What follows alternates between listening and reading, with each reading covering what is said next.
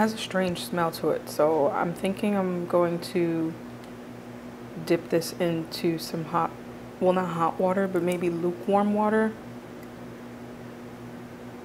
And I do want to kind of rinse it and clean it off just in case um, I'm allergic to it, to the hair, because my scalp will start itching like crazy. So each ring has 12 pieces, so 24 all together in one pack. But what's crazy is as I'm looking at it, the naked eye looks more brown, but on camera, you could see it's 1B, and then the bottom is more brown.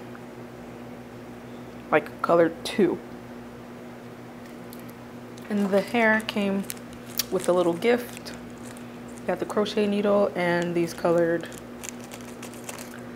jewels here. And if you guys can hear a little bit of noise in the background, that's my fan that is running right now. It's a little hot. Have the AC on, but right here in Florida, it's pretty, pretty hot. So you stick the crochet needle through. There we go. And then you close the latch right here pull through.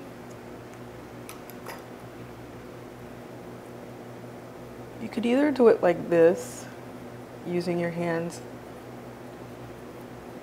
and then sticking the hair through it.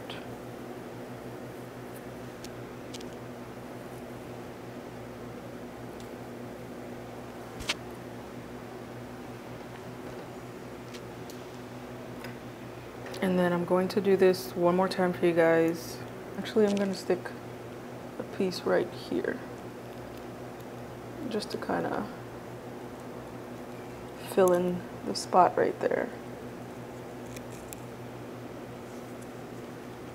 So I'm going to open the hair a little more, just like so. And maybe scoot it over a little bit.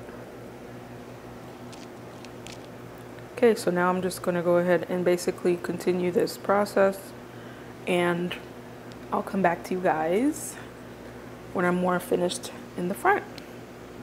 All right, y'all, this is what the front looking like. Okay, so the front half took me about 20 minutes to do. So now I'm gonna go to the back. So this is the back. And we're going to continue on, you guys. I'll come back when I'm done.